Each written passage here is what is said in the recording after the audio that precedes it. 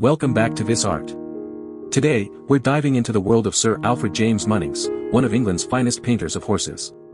Known for his outspoken criticism of modernism, Munnings' art style captures the beauty and grace of these majestic creatures. Let's start with A Bay Racehorse with a Groom. In this painting, Munnings skillfully portrays the connection between the horse and its groom, showcasing the bond and trust between them. Next up is A Racehorse in a Landscape. Here, Munnings transports us to a serene countryside setting, where we witness the power and elegance of the racehorse as it gallops through the landscape. Moving on to Study of Isaac Bell, Munnings captures the essence of his subject with incredible detail and precision. This portrait showcases the individuality and character of Bell, bringing him to life on the canvas.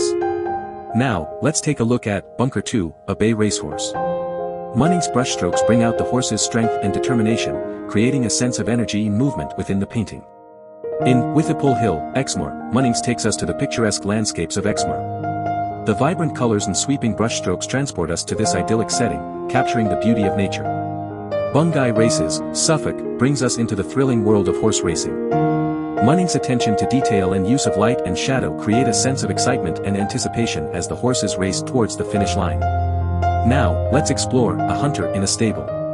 Munnings' skillful depiction of the horse and its surroundings immerses us in the stable atmosphere, showcasing the bond between man and horse. Moving on to Tagg's Island, Munnings invites us to a tranquil riverside scene. The peacefulness of the setting is beautifully captured, allowing us to escape into this serene moment. In A Bay Horse in a Landscape, Munnings once again showcases his mastery of capturing the essence of horses in their natural surroundings. The horse stands proudly against the backdrop of a breathtaking landscape. Next, we have a gypsy campfire. Munnings' use of warm colors and soft brushstrokes transports us to a cozy campfire scene, where we can almost feel the warmth and hear the crackling of the fire. In Study 4, Going Up the Canter, Munnings captures the energy and excitement of a horse in motion. The dynamic brushstrokes and bold colors bring the scene to life, making us feel as if we're right there in the moment. Now, let's explore Study of a Bay Horse. Munnings' attention to detail and his ability to capture the horse's form and expression make this painting truly remarkable.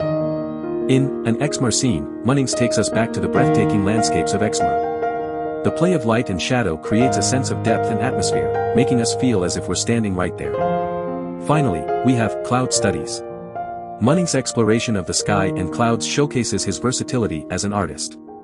The soft, wispy brushstrokes create a sense of tranquility and evoke a feeling of serenity. And that concludes our journey through the artworks of Sir Alfred James Munnings.